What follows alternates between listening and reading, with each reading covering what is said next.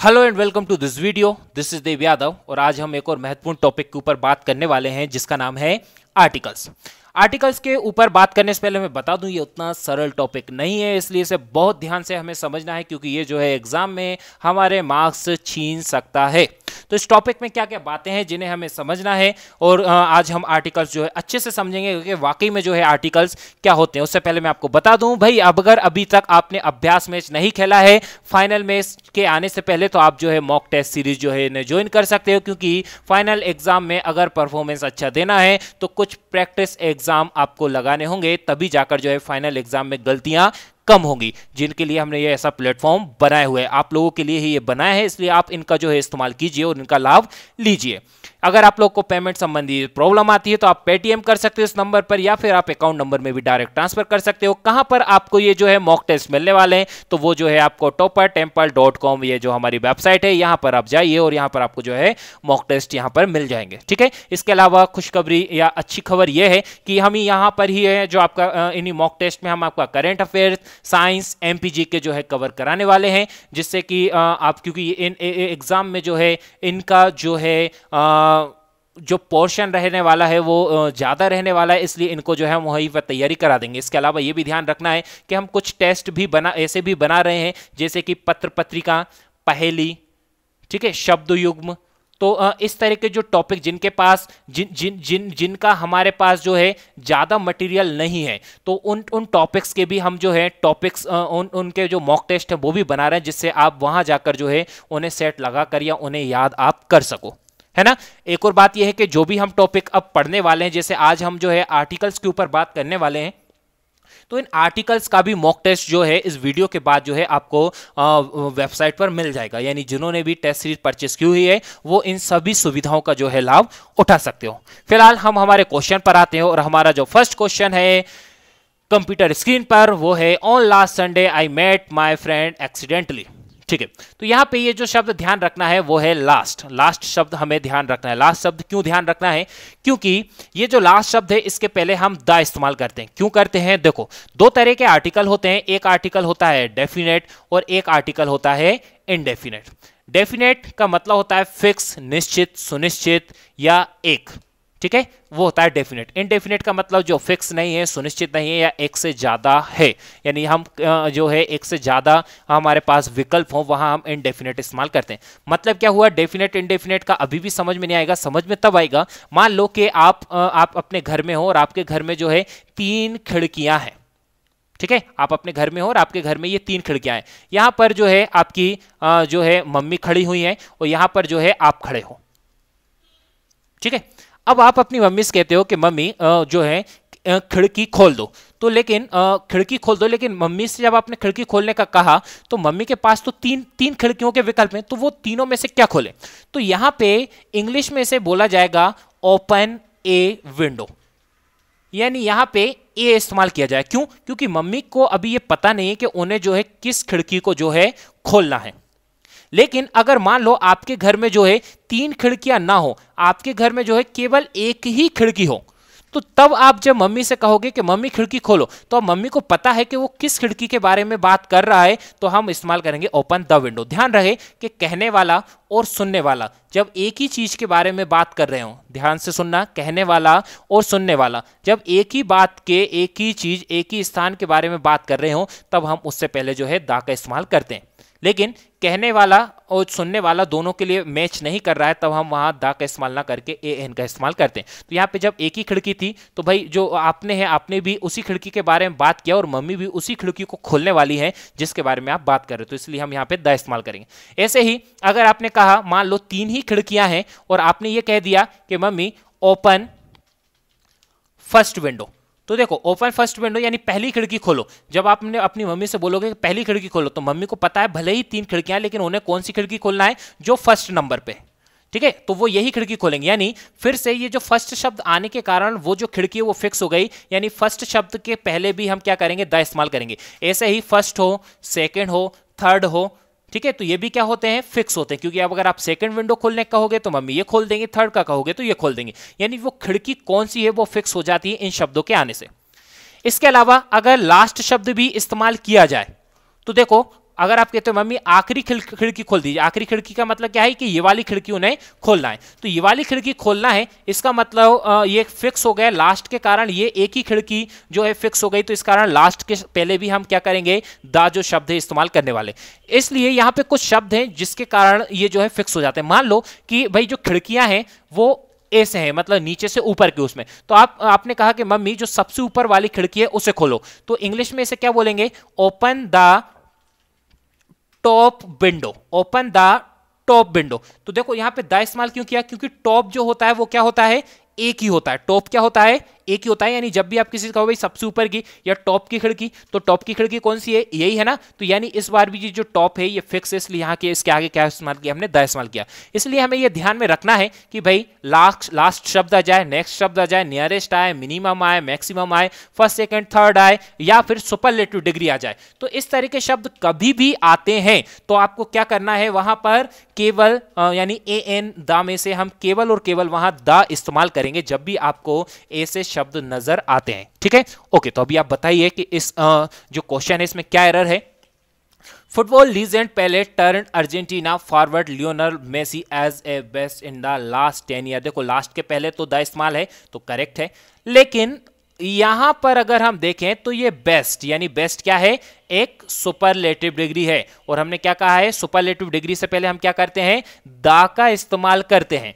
ठीक है? तो बेस्ट यानी जिसके भी आगे भाई ये पीछे एस टी शब्द इस प्रकार से लगा है, ये सुपरलेटिव डिग्री होती है। लॉन्गेस्ट टफेस्ट हाईएस्ट ठीक है? तो यहाँ पे बेस्ट क्या है? सुपरलेटिव डिग्री है तो यहाँ पर जो ए है, गलत इस्तेमाल हुआ है, इसकी जगह हम क्या इस्तेमाल करने वाले हैं? द इस्तेमाल करने वाले। वीडियो जैसे क्वेश्चन आए वीडियो को रोककर आप खुद भी उन्हें सोल्व करने की कोशिश कीजिए। आगे बढ़ते हैं। I live on a top floor फिर से हम समझ गए कि टॉप शब्द क्या है जैसे लास्ट है फ़र्स्ट है ऐसा ही टॉप होता है तो इसलिए यहाँ पे ए इस्तेमाल नहीं होगा बल्कि हम यहाँ क्या करेंगे द जो है वो इस्तेमाल करने वाले। आगे अगर बढ़े। Tea which I am drinking is hot क्या होगी एरर सोच के बताओ। अरे भाई तैयारी हो गई हुई ना अब तक तो। तो यहाँ पर आ, देखो चूँकि हमने देखा था कि अभी जब हमने लास्ट फ़र्स्ट इस तरह के शब्द इस्तेमाल करने से वो जो जिसके ऊपर हम बात कर रहे हैं, वो फिक्स हो जाता है। यानी जो नाउन है, वो डेफिनेट हो जाती है। है ना? नाउन जो है, इस तरह के शब्द इस्तेमाल करने से वो डेफिनेट हो जाती है, जिसके कारण हम क्या करते हैं? द इस्तेमाल करते हैं। ऐसा ही ध्यान रखना है, तीन शब्द और हैं, जैसे हु विच और दैट हु विच और दैट इन तीन शब्द के आने से भी जो नाउन है वो डेफिनेट हो जाती। मतलब क्या हुआ? मतलब ये हुआ कि यहाँ पे tea which I am drink यानी हर किसी चाय के बारे में बात नहीं बोल रहा है। वो कह रहा है टी जो मैं पी रहा हूँ, वह गर्म है। यानी यहाँ पे टी जो है, इसके पहले हमें द इस्तेमाल करना होगा, क्योंकि यहाँ पे विच जो शब्द यहाँ पे इस्तेमाल हुआ है। तो हु विच दैट इन शब्दों के लिए ध्यान में रखना है कि जो है द जो है हम इस्तेमाल करेंगे नाउन के पहले। एक और बात ध्यान रखना कि दैट जो है इसका केयरफुल रहना है, क्योंकि इसके अलग अलग अर्थ होते हैं। जैसे दैट का अर्थ जब जो होता है, तब तो हमें द इस्तेमाल करना है, लेकिन दैट का अर्थ होता है कभी कभी वह के उसमें ऐसे इस्तेमाल भी होता है। तो दैट को थोड़ा सा केयरफुल रहना। बाकी ये तीन शब्द आप ध्यान में रखो। एग्ज़ाम में ऐसे ही जो है क्वेश्चन रहने वाले हु विच दैट इनके लिए हम नाउन से पहले द इस्तेमाल करेंगे। जैसे हाँ टी के पहले हमने द इस्तेमाल किया।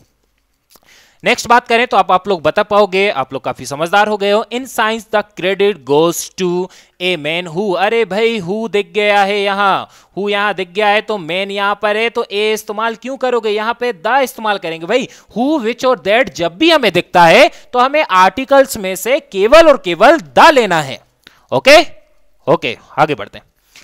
I know a doctor you are referring to देखो नॉर्मली क्या होता है? कि जो डॉक्टर शब्द है, डॉक्टर, टीचर, प्रोफेसर, ये जो प्रोफेशन है, ठीक है, सिंगर डांसर, इनके पहले हम ए एन आर्टिकल में से ही कुछ ना कुछ लेते हैं, ठीक है? तो यानी अगर मैं केवल पार्ट ए और पार्ट बी को देखूँ तो ये दोनों पार्ट क्या है? एकदम सही है। यानी मैं मैं मान लेता हूँ कि सी और डी मेरे पास है ही नहीं सी मेरे पास है ही नहीं। आई नो ए डॉक्टर तो ये सही है, ठीक है? आई नो ए डेंटिस्ट सही है, ठीक है? मैं एक डेंटिस्ट को जानता हूँ, ये सही है, ठीक है? लेकिन कहने वाला और सुनने वाला दोनों एक ही बात कर रहे हो। कहने का मतलब ये कह रहा है I know a doctor you are referring to मतलब मैं उस डॉक्टर को जानता हूँ जिसके बारे में तुम बात कर रहे हो, जिसको तुम रिकमेंड कर रहे हो। यानी अब कहने वाला जिस डॉक्टर को जानता है, उसी डॉक्टर के बारे में सुनने वाले को भी पता है। यानी I know a doctor you are referring to और जब ऐसा हो कि कहने वाला और सुनने वाला दोनों के लिए एक ही एक नाउन जो है, आ, हो रही हो, एक ही व्यक्ति इस्तेमाल हो रहा हो तो वो डेफिनेट होता है, उसके लिए हम द इस्तेमाल करते हैं। अगर कुछ समझ में नहीं आया तो ये ध्यान में रखो कि I know a doctor you are referring to मतलब डॉक्टर के बारे में हम कह रहे हैं कि भाई यू आर मैं उस डॉक्टर को जानता हूँ जिसके बारे में तुम बात कर रहे हो। तो यही अर्थ है तो जो डॉक्टर है वो हर कोई नहीं है। ये एक फिक्स डॉक्टर है जिसके बारे में ये भी बात कर रहा है, जिसके बारे में ये भी बात कर रहा है। इसलिए यहाँ पर जो ए है ए इस्तेमाल नहीं होगा, बल्कि हम जो है यहाँ पे दा जो है वो इस्तेमाल करने वाले हैं। ओके नेक्स्ट धीरे धीरे सब समझ में आने लगेगा, जिससे से कहानी आगे बढ़ती जाएगी। Okay the police asked us about our movement on a night of crime भाई, पुलिस ने जो है हमारे क्या गतिविधियाँ रही थी जो अपराध हुआ था, घटना की रात को हमारी क्या क्या गतिविधियाँ रही थी, उस संदर्भ में, है ना? तो यहाँ पर अगर हम देखें कि यहाँ पर क्या है ऑन ए नाइट देखो, यहाँ हर किसी रात के बारे में बात नहीं चल रही, यहाँ पर केवल उसी रात के बारे में बात चल रही है, जिस रात को जो है क्राइम हुआ था, जिस रात को जो है घटना हुई थी। तो जिस रात को घटना हुई थी, उस रात के बारे में बात चल रही है, हर किसी रात के बारे में बात नहीं चल रही। इसलिए हम क्या करेंगे, द नाइट का इस्तेमाल करेंगे। यानी उसी प्रकार से आपके पास तीन खिड़कियाँ थी, आप हर किसी खिड़की के बारे में बात नहीं कर रहे हो, आप फ़र्स्ट खिड़की के बारे में बात कर रहे हो तो फ़र्स्ट से पहले जो है द इस्तेमाल होता है। Next. I don't like that type of a man who does nothing but find out faults in other. यहाँ fault की स्पेलिंग थोड़ी आ, गलत है। तो यहाँ पे आ, देखो बताओ क्या होने वाला चेक करो क्या आंसर आने वाला है? देखो ये आपको याद ही रखना है कि ये जो शब्द है टाइप ऑफ़ यानी इस तरह के शब्द type of kind of rank of post of title of इस तरह के जो शब्द हैं इनके साथ आर्टिकल इस्तेमाल नहीं होता यानी यहाँ पर जो ए है ये गलत इस्तेमाल हुआ है। यानी हमें क्या करें, क्या बोलेंगे? इसे हम बोलेंगे ही नहीं। हम क्या लिखेंगे? I don't like that type of man ऐसा ही अगर हम देखें तो ये ध्यान में रखना है ये भी इंपॉर्टेंट क्वेश्चन है कि आपको जो है ऐसा जैसे अगर बाय प्लेन भाई आप कहीं जा रहे हो यात्रा कर रहे हो बाय प्लेन बाय कार से करते हो या बाय बस से जाते हो बाय ट्रेन से जाते हो तो इनके बीच में आर्टिकल नहीं आता। यानी ये करेक्ट है। लेकिन अगर ऐसा आ जाए by a plane by a car by a bus by a train तो ये क्या होगा? गलत होगा। ठीक है? क्योंकि हम यातायात के साधन जो हैं उनके साथ हम जो है आर्टिकल इस्तेमाल नहीं करते हैं। Okay next Rahul suggested to his withers that they should go to the school regularly and do their homework sincerely okay देखो Uh, ये जो कंसेप्ट है ये तीन चार क्वेश्चन इसके जैसे हैं अभी आगे तो आपको ये समझ में आ जाएगा। थोड़ा सा uh, इससे समझने की कोशिश करो कि देखो आर्टिकल्स में एक कंसेप्ट और चलता है और वो जो कंसेप्ट होता है, वो होता है कि भाई जिस काम के लिए जो प्लेस बना है, जैसे स्कूल किसके लिए होता है? पढ़ने के लिए भाई स्टडी के लिए। सही है ना? टेंपल यानी मंदिर किस, मंदिर किसके लिए होता है? मंदिर किसके लिए होता है? भाई पूजा के लिए प्रेयर के लिए, यानी प्रार्थना के लिए। सही है ना? तो जो काम, जिस, जो स्थान, जिस काम के लिए बना है, अगर वहाँ वही काम हो रहा है तो उस स्थान से पहले, जैसे स्कूल टेंपल जेल, भाई जेल किसके लिए? क्रिमिनल के लिए। भाई क्रिमिनल गो टू जेल। ठीक है? तो यहाँ पे जो है क्रिमिनल के लिए जेल बना है। तो यानी जेल में अगर क्रिमिनल जाते हैं टेंपल में अगर आप प्रेयर करने जाते हो स्कूल में अगर आप पढ़ाई करने जाते हो तो इन शब्दों के आगे जो है, आप आर्टिकल इस्तेमाल नहीं करोगे। यानी जिस काम के लिए जो स्थान बना है, अगर वही काम हो रहा है तो आप आर्टिकल इस्तेमाल नहीं करोगे। यानी यहाँ पर अगर हम देखें कि Rahul suggested to his wither that they should go to the school regularly भाई, उसने अपने भाइयों से कहा कि उन्हें जो स्कूल है रेगुलर जाना चाहिए। क्यों जाना चाहिए? और क्या करना चाहिए? And do their homework sincerely यानी ये होमवर्क शब्द से भी हमें जो है ये पता पड़ गया कि उन, वो अपने भाइयों से कहना चाह रहा है कि भाई स्कूल जो है रोज पढ़ाई करने के लिए जाओ। तो स्कूल चूँकि पढ़ाई करने के लिए ही बना है तो यहाँ पे भाई द इस्तेमाल क्यों करेंगे? एक चीज़ ध्यान में रखना है, कुछ कॉमन सेंस भी इस्तेमाल करना है कि भाई अगर ऐसा लिखा है children go to the school. तो ये भी क्या होगा? गलत होगा। क्यों गलत होगा? भाई, बच्चे जो हैं, स्कूल जा रहे हैं तो पढ़ने ही जाएँगे। तो ये भले ही वहाँ पे होमवर्क ऐसे शब्द ना भी हो, तब भी हमें इनको जो है थोड़ा समझना है कि जो बच्चे हैं, वो स्कूल पढ़ने के लिए ही जाने वाले यानी जब आप इसे हटा दोगे, तब ये क्या हो जाएगा? करेक्ट हो जाएगा। ठीक है। तो ऐसे ही क्वेश्चन का आंसर आप दो। When uh, Rohit was going to temple to visit his friend Lalit, he came across his mother on the way. देखो यहाँ पे going to temple हुआ है। पिछली बार हमने क्या इस्तेमाल किया था कि गो टू द स्कूल और इस बार हम क्या इस्तेमाल कर रहे हैं? गोइंग टू टेंपल देखो when Rohit was going to temple to visit his friend देखो मंदिर हम जब जाते हैं तो हम किस लिए जाते हैं भाई? प्रार्थना करने पूजा करने। सही है ना? लेकिन यहाँ पे क्या हो रहा है? When Rohit was going to temple to visit his friend Lalit यानी रोहित जो है, मंदिर जा रहा है अपने दोस्त ललित से मिलने। भाई, मंदिर हम प्रियर हम दोस्तों से मिलने थोड़ी जाते हैं। मंदिर हम प्रियर करने जाते हैं।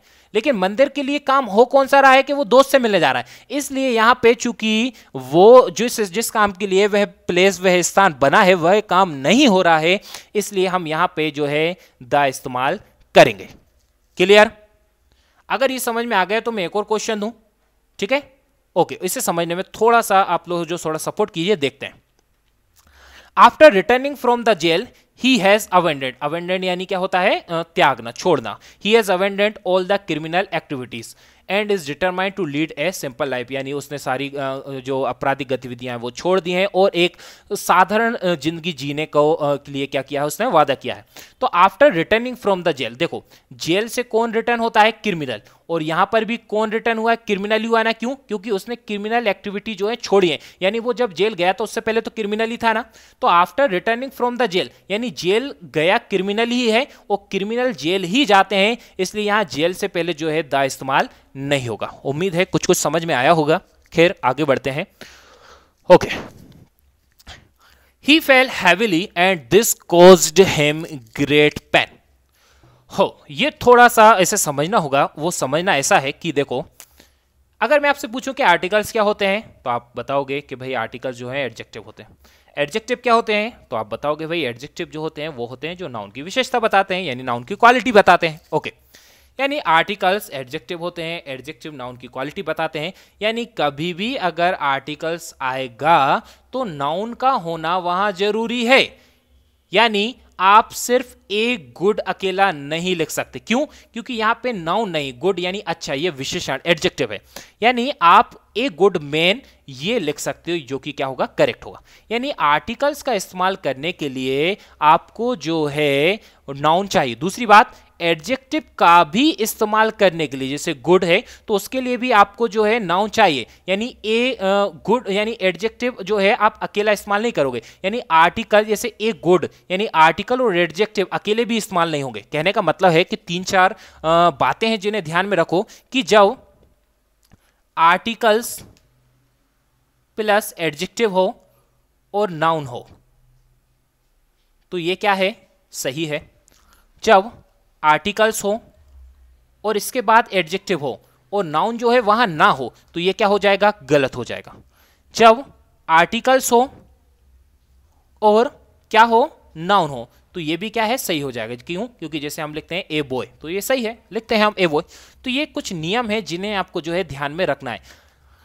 अब जो सबसे इंपॉर्टेंट नियम है वो ये कि जब भी, कहने का मतलब है कि एडजेक्टिव और नाउन आ जाए, ये इंपॉर्टेंट नियम है। एडजेक्टिव और नाउन आ जाए तो वैसे तो करेक्ट है। लेकिन ये ध्यान रखना है कि जब भी एडजेक्टिव और नाउन बहुत इंपॉर्टेंट बात मैं आपको बता रहा हूँ कि एडजेक्टिव और नाउन आ जाए। जैसे एडजेक्टिव गुड और नाउन क्या है? मैन व्यक्ति क्या है? संज्ञा नाउन तो आपको ये ध्यान रखना है कि आपको आगे जो है आर्टिकल इस्तेमाल करना ही है। ए एन में से जो है कुछ ना कुछ आपको इस्तेमाल करना ही है। जैसे यहाँ पे क्या होगा?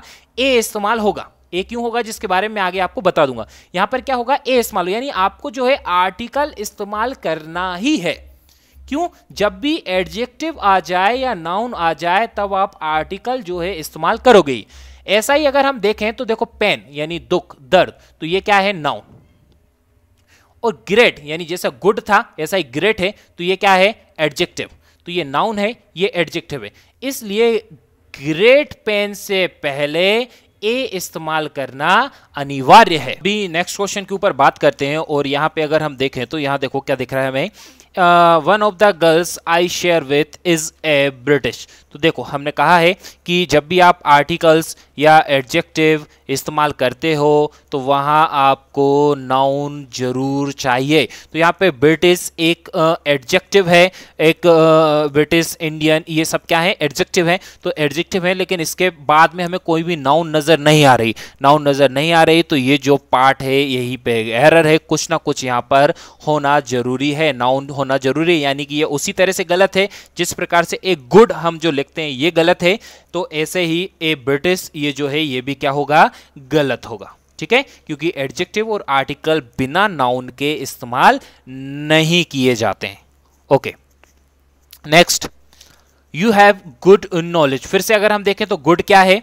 एक एडजेक्टिव uh, uh, हो गया और नॉलेज क्या है? एक नाउन हो गया तो ध्यान रखना है कि जब भी एडजेक्टिव प्लस नाउन ये वाला स्ट्रक्चर हो तो आगे आपको आर्टिकल चाहिए। यानी यानी यहाँ पर हम क्या करेंगे? ए इस्तेमाल करेंगे।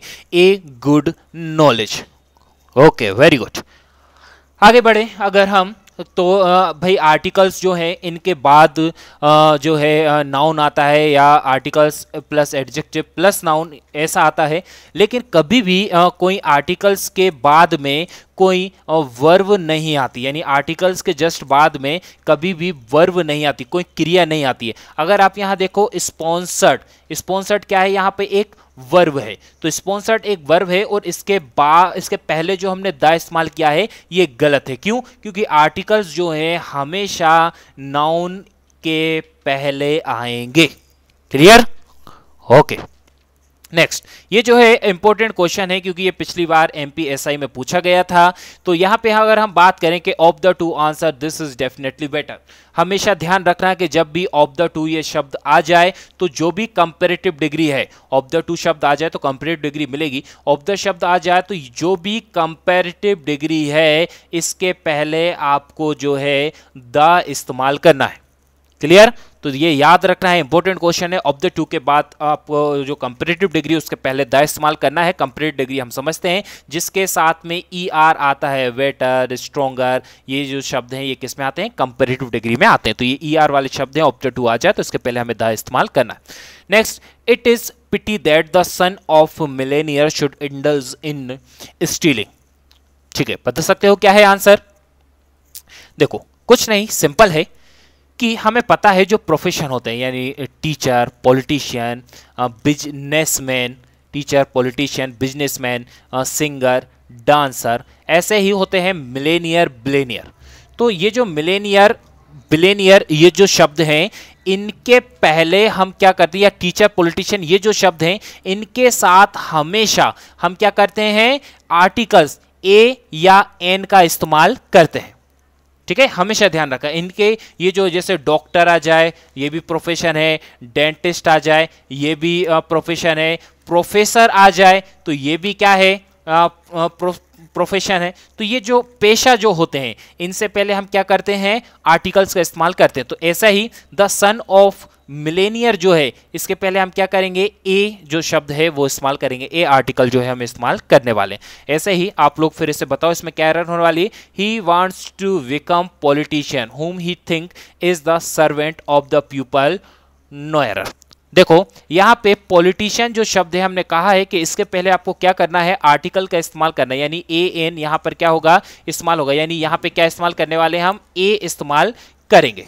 ठीक है? इनके पहले हम ए एन में से ही कुछ इस्तेमाल करते हैं क्योंकि पॉलिटिशियन में पी आ रहा है व्यंजन आ रहा है इसलिए हमने क्या इस्तेमाल किया? ए जो है वो इस्तेमाल किया। Next Brahmaputra is one of the longest rivers which originate in the Himalayas okay ये ध्यान में रखना है नदियों के नाम हो भाई आ, इनको कैसे याद रख सकते हो? भाई इंडियन ज्योग्राफी पढ़ी है ना? इंडियन ज्योग्राफी या वर्ल्ड ज्योग्राफी भाई, नदियाँ हो, खाड़ी हो सागर हो, समुद्र हो, ठीक है? यानी महासागर हो, पर्वत हो द्वीप हो झीलें हो डैम हो, इनके पहले आपको जो है द आर्टिकल का इस्तेमाल आप करोगे, ठीक है? Okay the house where the dead man was found is being guarded by police to prevent it from being entered and the evidence with. ठीक है तो यहाँ पे भी एक याद रखने कंसेप्ट भी ध्यान रखना है, ये जो पुलिस शब्द है, पुलिस शब्द है, यानी आपको ध्यान रखना है कि जब भी पुलिस शब्द आ जाए, नेवी शब्द आ जाए, आर्मी शब्द आ जाए, पुलिस शब्द आ जाए, नेवी शब्द आ जाए, आर्मी शब्द आ जाए, इनके पहले जो है आपको द इस्तेमाल करना यानी कभी भी आपको पुलिस अकेला नहीं मिलेगा, आपको जो है द पुलिस जो शब्द है, ये इस्तेमाल करना है। Next although brilliant writer and lying pessimism prevails in all her novels देखो, यहाँ पे एन लाइन अभी तक हमें पता चल गया है कि भाई ए और एन जो है आर्टिकल्स है, लेकिन ए ए जो है वो किसके साथ आता है? जिस शब्द की शुरुआत, जिस वर्ड की शुरुआत व्यंजन से हो कंसोनेंट से हो, उसके साथ हम क्या करते हैं? ए इस्तेमाल करते हैं। और जिसकी शुरुआत बोवेल्स यानी स्वर से हो, उसके साथ हम एन इस्तेमाल करते हैं। तो यहाँ पे देखो एन लाइंग लिखा है। एन लाइंग लिखा है यानी एन के बाद क्या ले रहे हैं? ये एल ले रहे हैं। तो एन के बाद एल वाले लाइंग ऐसा शब्द नहीं आएगा, बल्कि वहाँ स्वर होता। जैसे एन के बाद अगर आप जो है एप्पल होता तो हम हमारा क्या होता है ये? सही होता एप्पल क्यों? क्योंकि एन के बाद ए आ रहे हैं। इंग्लिश में स्वर होते हैं ए ई आई ओ यू इनके बाद, इनके पहले हमें एन इस्तेमाल करना है, बाकी जितने भी अक्षर हैं, उनके पहले हम ए इस्तेमाल करेंगे। यानी एन लाइन जो है, ये गलत है। क्यों गलत है? क्योंकि यहाँ पे एल से जो है, ये शुरुआत हो रही है। Next it took me almost a hour to fill देखो, ये ध्यान रखना है कि ये जो आर है, ये क्या है? ये एच जो है, इसमें साइलेंट होता है। यानी हम यहाँ से पढ़ते हैं ओ से पढ़ते हैं आर ऐसा ही कुछ और भी शब्द हैं, जैसे कि ये ईयर यानी ये ई से पढ़ते हैं, ये एच से से नहीं पढ़ते, जैसे कि ऐसा ही होता है ओनर तो यहाँ पे जो ओनर शब्द है, इसे हम यहाँ से पढ़ते हैं ओ से पढ़ते हैं, ठीक है? ना कि एच से पढ़ते हैं। तो चूँकि इन शब्दों की शुरुआत कहाँ से हो रही ओ से ई से इनसे हो रही है, यानी इनका उच्चारण जब हम बोलते हैं तो हम स्वर से इनको बोलते हैं। आर यानी आ से ईयर यानी ई से ओ ओनर यानी ओ से। ध्यान रखना कि आर्टिकल्स में ए एन के कंसेप्ट को एकदम से जो क्लियर करते हैं, वो करते हैं हिंदी के स्वर। जब भी हिंदी के स्वर अगर वहाँ आते हैं तो आप क्या कर सकते हो? कि उनमें उन, उनको चेक कर कर आप जो है आर्टिकल्स का जो है इस्तेमाल कर सकते हो। यदि हिंदी के स्वर से शुरुआत हो रही है, जैसे आर से आ से शुरुआत हो रही है यहाँ पे तो आ एक स्वर है तो हम क्या कर रहे हैं यहाँ पे एन इस्तेमाल करेंगे, ठीक है? तो ए आर गलत है, यहाँ पे क्या होगा एन आर होगा, भले ही एच वहाँ पहले आ रहा है, लेकिन एच साइलेंट है, हम ओ से जो है शुरुआत कर रहे हैं। Okay next Meena had applied for a loans ध्यान रखना है कि ए एन जो आर्टिकल्स हैं इनके साथ हमेशा सिंगुलर जो है वर्ब ली जाएगी। यानी यहाँ पे ए लोन्स ये जो लिखा है ये गलत है क्योंकि यहाँ पे एस जो इस्तेमाल हुआ है आ, आ, इसके साथ आ, जो है हमें ए जो है ये हम नहीं इस्तेमाल करेंगे। यानी यहाँ पे जो आर्टिकल ए है ये गलत इस्तेमाल हुआ है क्योंकि ए जो है सिंगुलर के साथ आता है और यहाँ पे जो लोन्स है ये क्या है? प्लूरल यानी जो हमारी एरर है वो कौन सी है? फ़र्स्ट पार्ट में है। लोन्स के साथ जो है कभी भी सॉरी ए के साथ जो है कभी भी प्लूरल नाउन नहीं आएगी। ए एन के साथ प्लूरल नाउन नहीं आती है।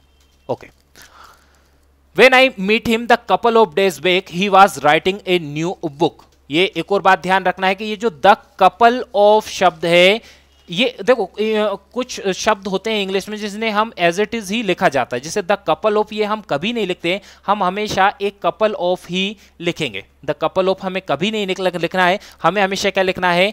ए कपल ऑफ़ ही लिखना है। Clear okay next I sat down opposite him and and produced I sat down opposite him and produced the packet of cigarettes okay हमें कुछ शब्द ध्यान रखना है, जैसे a shoal of fish a band of musician a pride of lion यानी ये क्या होते हैं? जैसे शेर के समूह के लिए। शेर के समूह के लिए हम क्या इस्तेमाल करते हैं? प्राइड ठीक है? मछलियों के समूह के लिए क्या करेंगे? Shoal band of musician a bevy of girl यानी लड़कियों की टोली. ए ट्रोप ऑफ़ मंकी यानी जो बंदर हैं, उनका उनका समूह. ठीक है? ए बकेट ऑफ़ फ्लोवर यानी ये ये सभी क्या है? ये ये है कलेक्टिव नाउन ये सभी क्या है? कलेक्टिव नाउन ये भी आपको ध्यान रखना है। ये भी ऐसा क्वेश्चन पूछा था, भाई लोयन के लिए हम क्या इस्तेमाल करते हैं? प्राइड ठीक है? बंदरों के लिए क्या इस्तेमाल करेंगे? ट्रुप तो ये ये क्या होते हैं? कलेक्टिव नाइन होते हैं। ऐसा ही एक और कलेक्टिव नाइन का होता है? ए पैकेट यानी सिगरेट के लिए या ऐसे और शब्द हों तो इनके लिए क्या इस्तेमाल करते हैं हम? पैकेट। तो ये ध्यान रखना है कि जो भी कलेक्टिव नाउन है, ये जो कुछ भी कलेक्टिव नाउन है, इनके पहले क्या करना है? आपको ए एन में से हम कुछ इस्तेमाल करेंगे। तो यानी यहाँ पे जो पैकेट ऑफ़ सिगरेट है, इस, ये एक कलेक्टिव नाउन है और इसके पहले हमें जो है द इस्तेमाल नहीं होगा, बल्कि हम ए जो है वो इस्तेमाल करने वाले हैं। उम्मीद है समझ में आया होगा। Next working together for the first time ठीक है फ़र्स्ट के साथ द करेक्ट है. The father and son developed concept concept of how they could accomplish the task and how the obstacle could be overcome okay देखो कुछ आ, शब्द हैं जो ग्रुप में आते हैं। जैसे हिंदी में कहें तो द्वंद्व समास। ठीक है लेकिन यहाँ पे अगर हम बात करें तो देखो जैसे मदर एंड फादर ठीक है एक हमने लिखा है यानी माँ बाप ठीक है ये ग्रुप में इस्तेमाल होंगे ठीक है बाप बेटा यानी फादर एंड सन ठीक है बाप बेटी माँ बेटी मदर एंड सन कहने का मतलब है इनको हम क्या करते हैं ग्रुप में इस्तेमाल करते हैं। बाप बेटा मामा मामी मम्मी पापा आ, इस तरह के कुछ दादा दादी ये क्या होते हैं ये ग्रुप में इस्तेमाल होते हैं कुछ शब्द। तो ये जो जब ए से ग्रुप में इस्तेमाल हो जैसे यहाँ पे क्या आया है फादर एंड सन यानी जो बाप बेटे हैं उन्होंने। फादर एंड सन जो है, उन्होंने क्या किया है? जो भी, आगे का जो भी काम लिखा हुआ है। तो ये ध्यान में रखना है कि इंग्लिश में कुछ नियम होते हैं जिनके आगे आपको नो आर्टिकल यानी कोई आर्टिकल आपको इस्तेमाल नहीं करना होता है। कोई भी आर्टिकल आपको इस्तेमाल नहीं करना होता है। तो ऐसा ही एक ये शब्द है कि mother and father father and son इस तरह के शब्द इनके आगे आप कोई भी आर्टिकल जो है इस्तेमाल नहीं करोगे। यानी यहाँ द इस्तेमाल नहीं होगा, बस सीधा यही लिखा जाएगा working together for the first time father and son यहाँ से। यानी कोई आर्टिकल इस्तेमाल नहीं होगा। ऐसे ही कुछ और भी शब्द हैं जिनके साथ द इस्तेमाल नहीं होता, जिनको आपको अपनी किताबों से पढ़ना है। लेकिन यहाँ हम बात करें I have come to learn that your father is good ध्यान रखें, कोई भी सब्जेक्ट जो होता है, उसके पहले हम जो है आर्टिकल इस्तेमाल नहीं करते हैं। सब्जेक्ट के पहले हम कोई भी आर्टिकल जो है इस्तेमाल नहीं करेंगे। यहाँ पे तो डबल प्रपोजिशन हो रहा है। लेकिन सब्जेक्ट से पहले हम आर्टिकल इस्तेमाल नहीं करेंगे। यानी हमारा जो आंसर होगा, कौन सा होगा? सेकंड यानी एट हिस्ट्री यानी हिस्ट्री मैथमेटिक्स इनके पहले भी हम जो है आर्टिकल जो है इस्तेमाल नहीं करते हैं। ध्यान रखना, ठीक है? तो दो तीन नियम है, कुछ दो तीन से ज़्यादा है, कुछ नियम है जिनके आगे हमें आर्टिकल जो है इस्तेमाल नहीं करना होता, उनमें ये एक ये इंपॉर्टेंट है, ये एग्ज़ाम में पूछा जाता है, ऐसा ही ये सब्जेक्ट है, बाकी के कुछ बातें जो है आपको बुक से जो है पढ़ना है। हाँ तो कहने का मतलब है अभी जो है आप गहरी सांस लीजिए, क्योंकि आर्टिकल्स के रिलेटेड जो कंसेप्ट है वो थोड़े से समझने में जटिल है, उम्मीद है समझ में तो आया होगा, लेकिन अगर आपकी हाँ हो तो मैं आगे एक और कंसेप्ट जो है आपको समझा सकता हूँ। ठीक है? तो पहले गहरी सांस लीजिए, तब जाकर जो है मैं आगे का एक और कंसेप्ट समझाऊँगा। रेडी हो समझने के लिए? ठीक है? क्योंकि वो थोड़ा सा जटिल है उसे समझने के लिए। समझाऊं? ओके जब भी, ध्यान रखना है, जब भी नाउन आ जाए, फिर ऑफ़ आ जाए, और फिर से नाउन आ जाए।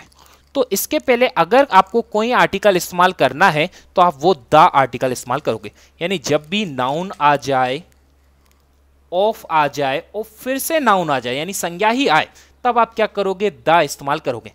मतलब जैसे कि यहाँ ऑफ़ शब्द देखा, यानी सबसे पहले हम क्या करेंगे? ऑफ़ चेक करेंगे। ठीक है? देखो ऑफ़ हमने यहाँ भी देखा। लेकिन अगर हम यहाँ देखें तो यहाँ नंबर यहाँ कोई संख्या नहीं, वो संज्ञा नहीं है। यहाँ पे नंबर एक संज्ञा नहीं होती। प्रीटी गर्ल्स एडजेक्टिव है, और फिर यहाँ पे, यानी, या इधर तो हमें नाउन मिल रही है सोफ के, लेकिन इधर हमें जो है नाउन नहीं मिल रही। इस तरफ़ तो नाउन मिल रही है लेकिन इस तरफ़ नाउन हमें नहीं मिल रही। गर्ल्स यानी संज्ञा में आ जाएगा। ऐसा ही अगर हम इस ऑफ़ को देखें, यानी, इसमें तो देखो ए इस्तेमाल हुआ है तो ठीक है, क्योंकि यहाँ हम द इस्तेमाल नहीं करें, क्योंकि दोनों ऑफ़ की इधर उधर नाउन नहीं है। लेकिन इस ऑफ़ के ऊपर बात करें तो देखो अट्रैक्शन देखो जिसमें आई ओ एन होता है, वो क्या होता है? नाउन होता है। अट्रैक्शन यानी आकर्षण। आकर्षण क्या है? एक संज्ञा है। ठीक है? ओके। फिर है सेंटर। सेंटर यानी केंद्र। केंद्र भी क्या है? एक संज्ञा है। ठीक है? तो देखो के, आ, कुछ ही शब्द होते हैं कि भाई ये संज्ञा है या नहीं तो हमें ये पता करना, भाई नाउन होते हैं एडवर्ब होते हैं एडजेक्टिव होते हैं प्रोनाउन होते हैं, सब में देख देख कर उसे चेक करते रहिए। जैसे कि सेंटर जो है, ये प्रोनाउन तो नहीं है ना, ये वर्ब भी नहीं है, ये एडवर्ब भी नहीं है, ये एडजेक्टिव भी नहीं है तो क्या है? फिर नाउन ही अगर इतना कुछ नहीं है तो है ना? कुछ फिक्स होते हैं वर्ड्स के कुछ फिक्स टाइप होते हैं तो उनमें ये इस प्रकार से हम देख सकते हैं। तो यहाँ पे सेंटर भी नाउन है अट्रैक्शन भी नाउन है। जब ऑफ़ के दोनों तरफ़ नाउन होते हैं, तब हम वहाँ ए इस्तेमाल नहीं करते, बल्कि वहाँ हम जो है द इस्तेमाल करते हैं।